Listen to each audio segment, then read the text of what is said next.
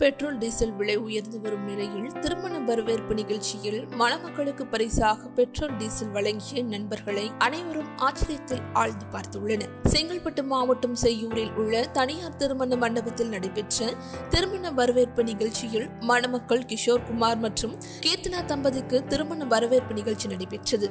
திருமணம் என்றாலே வித்தியாசமான முறையில் நண்பர்கள் மணமக்களுக்கு பரிசு பொருட்கள் வழங்குவது வழக்கம். ஆனால் பெட்ரோல் டீசல் விலை உயர்ந்து வருவதை குறிக்கும் வகையில் மணமக்கள் இருவருக்கும் அவர்களுடைய நண்பர்கள் மணப்பெண்ணுக்கு ஒரு லிட்டர் பெட்ரோலும் மாப்பிள்ளைக்கு ஒரு லிட்டர் டீசலும் பரிசாக அளித்துள்ளனர். மணமக்களுக்கு பெட்ரோல் மற்றும் டீசலை பரிசாக அளித்த சம்பவம் வியப்பை ஏற்படுத்தியுள்ளது. உடனுக்குடன் செய்திகளை அறிந்து கொள்ள ஐஎஃப் தமிழ் பெல் ஐக்கனை கிளிக் செய்யுங்கள்.